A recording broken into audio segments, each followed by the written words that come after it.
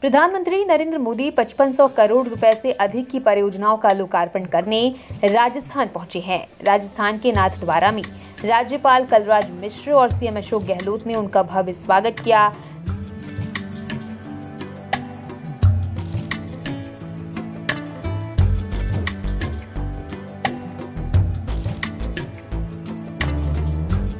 नाथ द्वारा पहुँचने पर प्रधानमंत्री मोदी की कार पर लोगों ने खूब फूल बरसाए।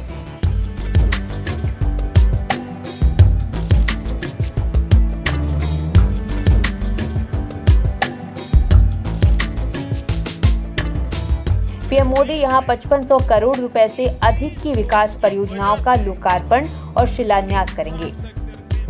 इस दौरान पीएम मोदी ने नाथद्वारा में श्रीनाथ जी मंदिर पहुंचकर दर्शन पूजन भी किया।